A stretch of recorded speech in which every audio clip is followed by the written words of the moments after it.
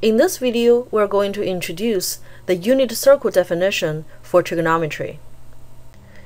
What is a unit circle? Again, it is a circle drawn in our xy coordinate system. It is centered at the origin, and most importantly, it has a radius of 1, and that is why it is called a unit circle. And we learned how to write the standard equation for a circle. Therefore, this circle has the equation x squared plus y squared equals to 1. Now, again, let's draw our angle theta in its standard position.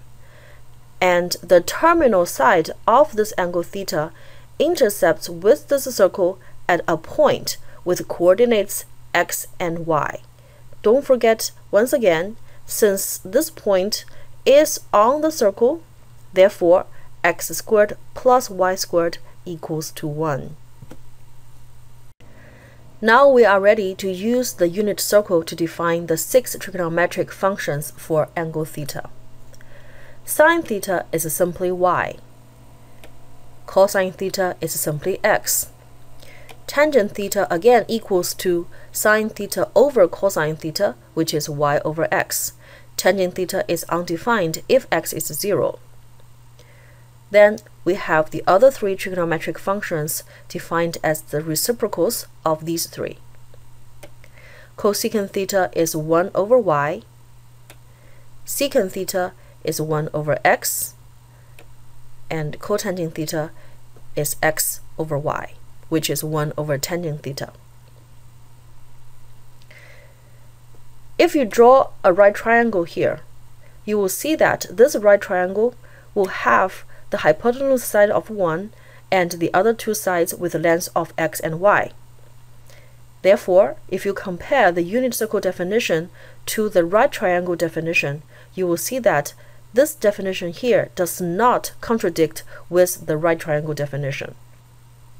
However, using the unit circle definition, we can find the trigonometric functions for any angle theta. Theta can be any real number. Also, you can see clearly that coterminal angles will have exactly the same six trigonometric function values. Once again, since this point with coordinates x and y is a solution point on this unit circle, therefore x squared plus y squared must equals to 1.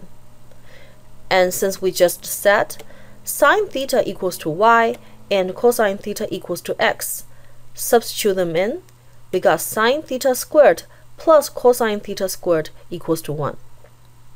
Normally, it's written this way.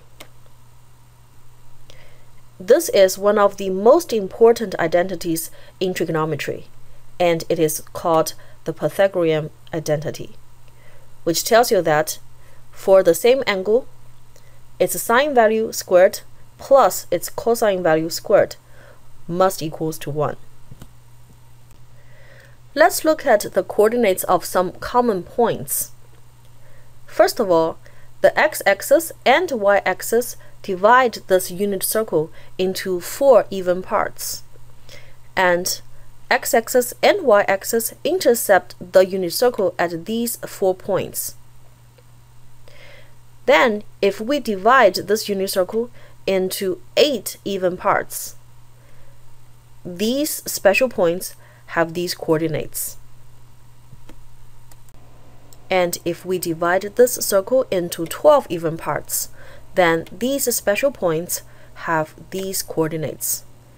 It looks like a lot, but I want you to pay attention and see how these numbers are related and notice the symmetry. Let's look at this example. We need to use this unit circle to determine the sine value of angle negative 3 quarter pi. To use the unit circle to determine the trigonometric function values, we need to first draw the angle in its standard position. At this point, if you are still not familiar with angles given in radian, you can first convert this angle into degrees, which is negative 135 degree. Now we draw it on our coordinate system. Since this is a negative angle, make sure you draw it by rotating clockwise. And as you can see, this is where the terminal side of this angle intercept with the unit circle, with coordinates of negative square root of 2 over 2 and negative square root of 2 over 2.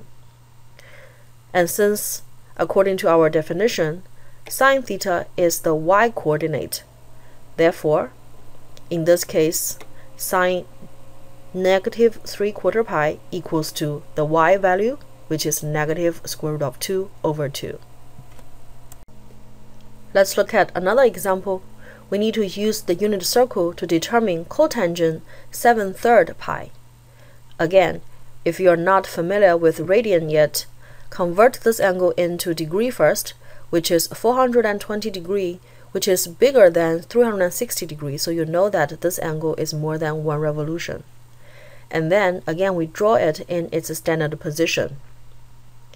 And this is where the terminal side of this angle intercept with the unit circle.